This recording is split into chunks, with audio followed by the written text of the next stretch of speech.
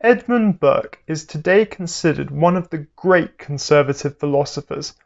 Raised in 18th century Ireland, he studied law in England but soon turned his hand to writing. This video looks at a parliamentary office he held for only a few months but which demonstrates his conservative pragmatism and sense of justice.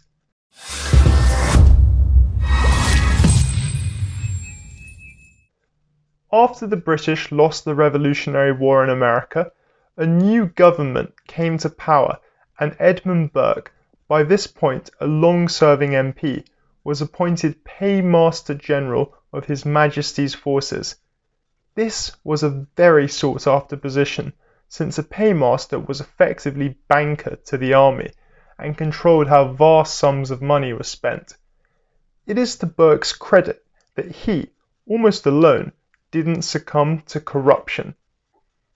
Burke only held the office from March to July 1782, but managed to get Parliament to pass the Civil List and Secret Money Service Act. This was an important reform since it abolished 134 royal and civil offices, which included such outdated feudal posts as the Master of the Foxhounds honest government was advanced and nepotism was checked. Burke's Civil List Act wished to restore the balance between the king, who at the time was seen to have too much influence, and Parliament.